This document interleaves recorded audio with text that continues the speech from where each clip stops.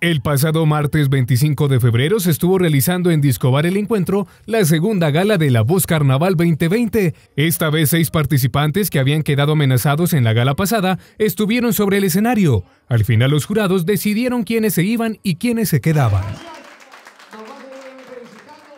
La verdad que como jurado estoy muy complacido y, contento de que haya gran talento aquí en el municipio de Urrao, porque todos los participantes tuvieron una presentación espectacular ya y lastimosamente hay unos que se tienen que ir porque ya sabemos que pasan los, los mejores, los que tienen la mejor presentación, no significa que para los que ya no van a estar los sueños se hayan troncado, sino que es una oportunidad de continuar.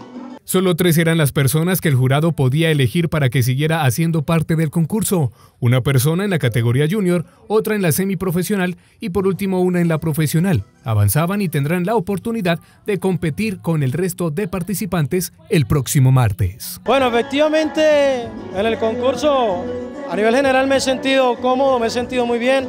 Hoy estoy un poco nervioso, eh, un poquito sudoroso, como se puede decir, porque bueno, la competencia también es muy buena, hay que admitirlo. Mis felicitaciones de todo corazón para la muchacha que cantó conmigo, de verdad que lo hace muy bien.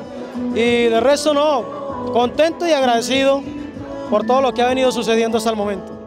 Los participantes que quedaron amenazados en esta ocasión pero ganaron la eliminatoria tenían la posibilidad de que votaran por ellos y así quedar protegidos para la próxima gala y no volver a quedar amenazados. Para el caso de los que tuvieron que irse tendrán el reto de seguir la carrera y mejorar cada día con el propósito de alcanzar sus objetivos.